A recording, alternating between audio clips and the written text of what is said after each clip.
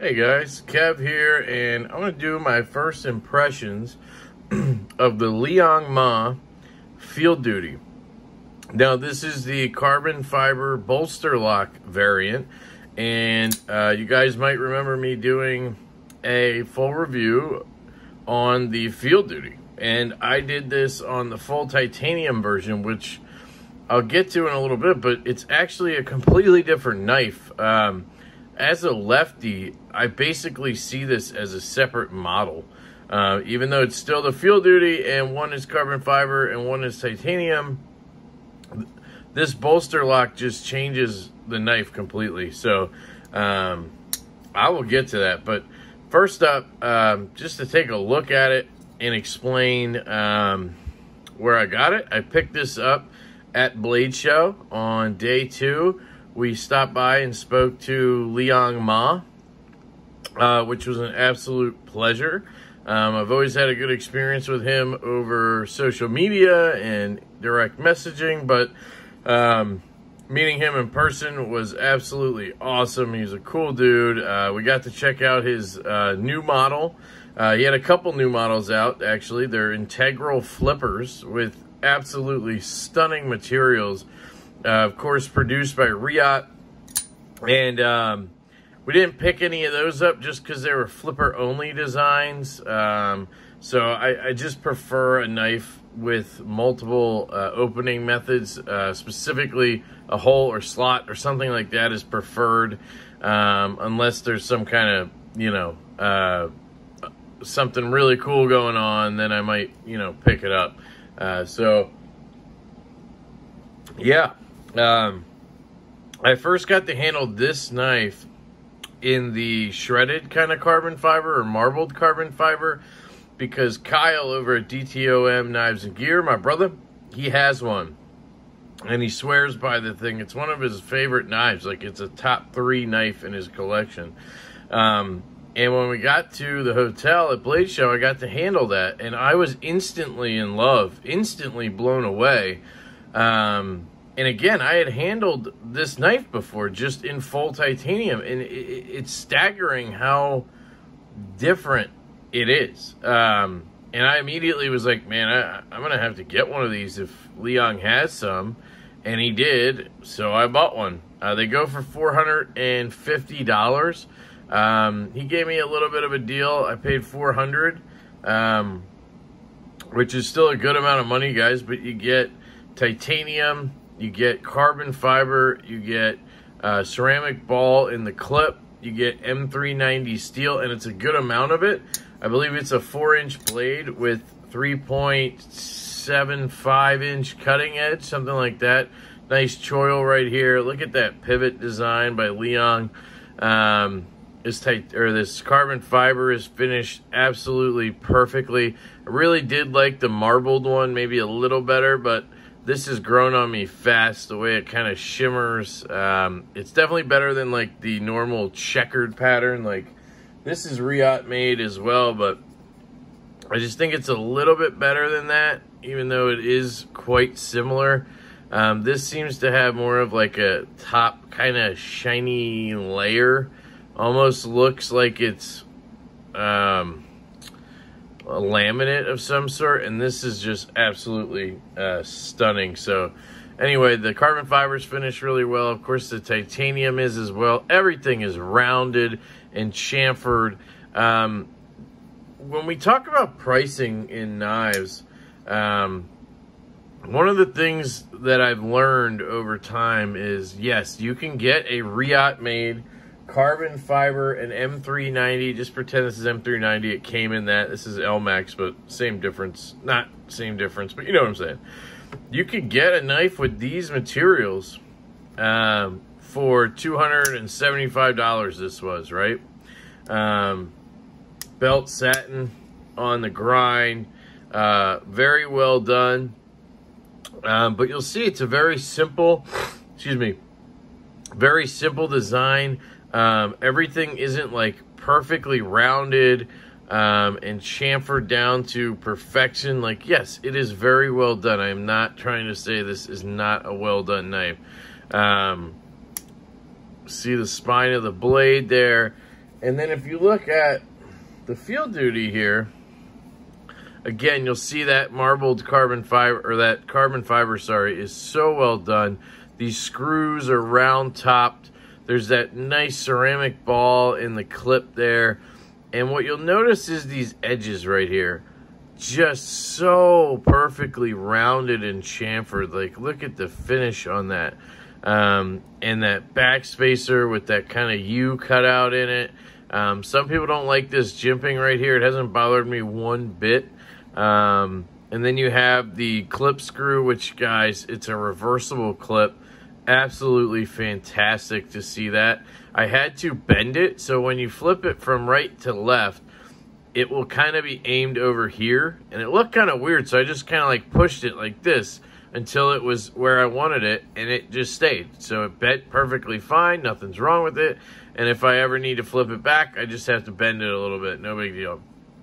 Um, so I love that that was included because it's basically a lefty knife now. I carry it left-handed. It operates fantastically left-handed. Obviously, it disengages and closes right-handed.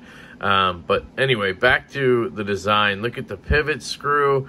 Like you can just see all these intricate details on this knife compared to that other one. And that's where that money goes. A little notch here where the blade drops in, perfectly centered. Um, look at the uh, finishing work on the spine here. It has this little uh, this little divot right here and drops down.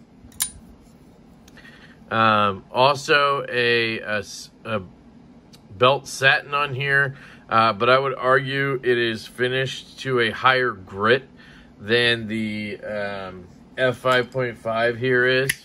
Um, and that's going to go into the cost. Um, you can see this one has that milky layer that it, I always talk about, a chalky layer, and this does not. It's just finished to a higher grit. Um, in my opinion, that is. Um, the swedge up here, it just has more detail, and that's where that money goes. Um, you know, that's just how it is. Uh, and I absolutely think this is worth that $450 easy. Um, so anyway, that's, um, you know, kind of the overall knife there. It's fantastic. Now, the titanium one has a frame lock that you can see that goes all the way down. And you'll see that relief cut is right there. That's kind of like where the, where that where it ends, where this line right here would end.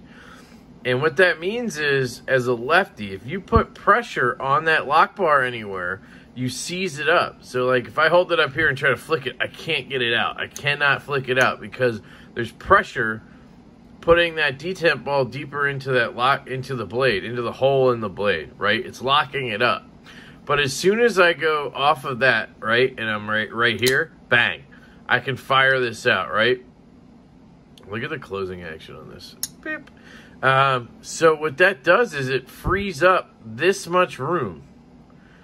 I have this much extra room on this on this side as a lefty to put my thumb compared to the frame lock version. It's just a completely different knife, guys.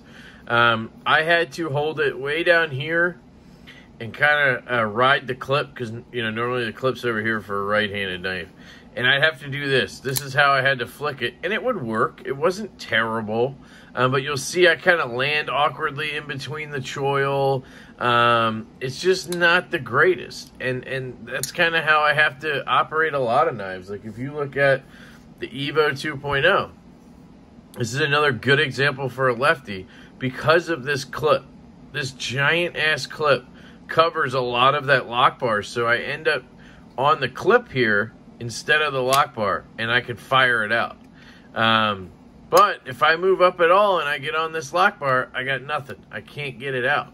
That's what she said. Uh, I'm trying to get you an example. So here is the crawler from Arcane Designs. Another one. This one, again, nice long clip, and this pivot collar covers the top of that lock bar. See, it covers this section of the lock bar. Um, but I have to ride down here at the bottom of the knife and put my thumb on that clip to get it to fire out. And for me, it works because that's kind of where I naturally want my hand after deployment.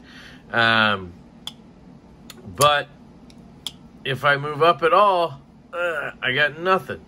And it's just a big issue with knives. Now, there are examples. Sorry, now I'm going down a, a, a rabbit hole here. There are examples like this Medford where, for some reason, sorry, they just are able to design the knife where it doesn't have that lock bar pressure issue. And I don't know if that has something to do with this over travel stop here or what, but I don't have any of those issues uh, with that knife. It's a very rare thing though. And you'll notice in my collection, I just don't have knives that that um, have that lock bar in a bad place for me to do a Spidey flick. So I can't really show you a bad example right now. Um, but I just wanted to point that out because it's a game changer as a lefty. I can recommend this knife uh, so, to lefties uh, so much. Like, I love this knife uh, le being left-handed. It basically is left-handed to me, minus that lock, minus the frame like actually being on the right side. I know that sounds stupid, but I mean, look at this action. It's just, it's absolutely uh, drop shut past the detent. It is. It just needs to get, boom. Um, you know, and if you're right-handed, of course, you get the guillotine drop, and then uh, the full drop. You can play the get a, get out of the way game. You know, it it's just absolutely fantastic. I'm loving this knife so much. Uh, if you can't tell, I'm just rambling here, guys. Um, the sounds are phenomenal. Occasionally, it gives a nice ting. I don't know if you can hear it, but it sounds amazing. Just absolutely fantastic. And it's a big knife, guys. Like, I can get a full grip from here down. You know, I get a full grip. And then I'm up on that jimping. It feels really good. This blade is easy to control. But then I can climb up here. And now, you know, I'm on that choil. I still have some jimping here. It has that classic Liong Mah Razorback jimping. Um, it it's just so good. And then, you know, the biggest thing with this knife, guys, is the, the hole and the detent from Reate. It just is placed perfectly. The detent is dialed to perfection. Um, I just put pressure, pressure, bang, it flies out. I don't need to think twice. Um, this is what she said, but you just put your finger in that hole and flick, and it will fly. It is just one of the best actions um, on deployment and close that I have ever handled. I absolutely love this thing. It is quickly rising through the ranks up into the top five, and it is. It's in the top five in my collection. Uh, the ever-changing top five of my collection, guys. Um, you know, right now I could lay them out, you know, where I'm at.